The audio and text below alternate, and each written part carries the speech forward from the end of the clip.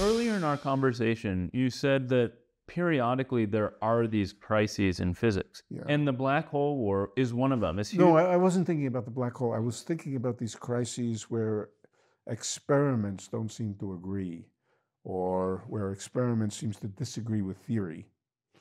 An example being the gyromagnetic ratio of the muon, uh, which, if you use the same physics as for the electron, you get a certain number from ordinary quantum field theory, uh, quantum electrodynamics in that case. But if you measure it, somewheres in the 12th decimal place or something, the experiment and the um, and uh, the calculation disagreed. This is one example of the kind of crisis I was talking about. Crises which usually have to do with discrepancies between theory and experiment. Why do they happen? Why they, why are they always there? And the reason is because both theory and experiment are always working on the edge of the technology. Experiment for obvious reasons, they're, they're very hard. You don't do an experiment now in three weeks. It's uh, the better part of a scientific lifetime to do an experiment. It can take 20, 30 years to do an experiment. They're very, very hard. And you're always working at the very, very edge of the technology. You're working at the edge of the statistical fluctuations and things.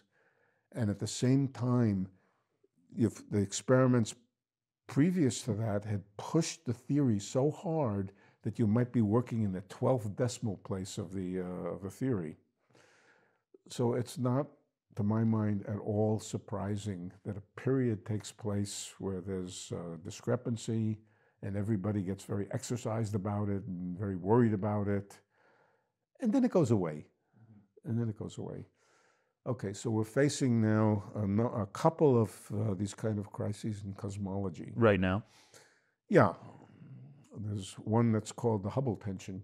Uh, the Hubble tension, you know what the Hubble constant is? It's the rate of expansion of the universe today. Uh, um, there are two ways of determining it.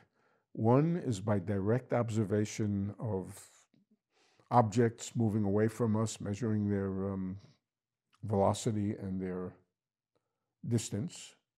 It's of course not so simple. Use supernova and all kinds of things, but uh, but it's sort of direct measurement of the expansion of the universe today, or at least seen from uh, through tele- ordinary telescopes, or maybe fancy telescopes. Okay, that's that's uh, that was one calculation. It leads to a certain number. I think it's seventy-four something per something per something. Uh, kilometers per second per megaparsec. But uh, okay, so that was one measurement of the um, of the Hubble expansion. There was another method which you go way back to the era when the cosmic microwave radiation was being formed in the very hot plasma. You can see that at a great distance away from us. You have to go, you want to go way back in time. The way you go way back in time is going to very large distances. You measure the properties of the cosmic microwave background. you use it to inform you about what was going on at that time. And then you use the equations of cosmology to run it from the remote past up till today the Friedmann Robertson Walker equations, some knowledge about equations of state, this, that, and other things, stuff having to do with something called uh, baryonic acoustic uh, oscillations, doesn't matter what it is. It's using a theory about what happened 13.8 billion light years, 13.8 billion years ago, and then using equations to um, uh, to extrapolate it to today. It disagrees with, uh, with that 74. It gives you 68 or something. Well, what's the difference between 68 and 74? No big deal. Unless you happen to be either the group who did one experiment or the other and who are absolutely convinced that they are correct. Okay? And uh, that's what's happening now. Both experiments are kind of at the edge of uh, technology. Nevertheless, the proponents of these two numbers, who are you know wonderful physicists. Uh, uh, these are not amateurs. These are not uh, these are super uh, good scientists. One group is absolutely certain their number is correct, and the other group is absolutely certain their number is correct. One resolution might be that something unknown or, or unaccounted for happened in between during this time uh, from the microwave radiation to today. It's possible. But that's a crisis now. Will that crisis go away?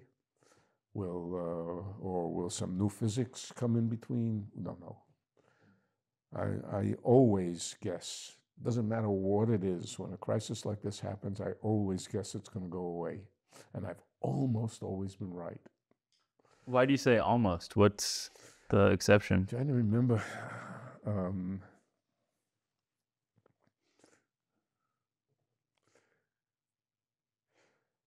Yeah, uh, very early on, I, I, do remember. Very early on, Jim Peebles was claiming that there was some evidence for something like dark energy, for something like a cosmological constant, or a little bit different, perhaps. This was long ago, and he was quoting data um, I thought that seemed very unlikely to me that there was a, a cosmological constant. That seemed, uh, and I was pretty sure that his data was probably, uh, well, no, his data was right. There was a cosmological constant. I was wrong about that one. Okay, that's funny. Yeah. Well, as far as I can remember, I think it's the only one I was wrong about. Not because I'm such a genius, but because I always say it's going to go away.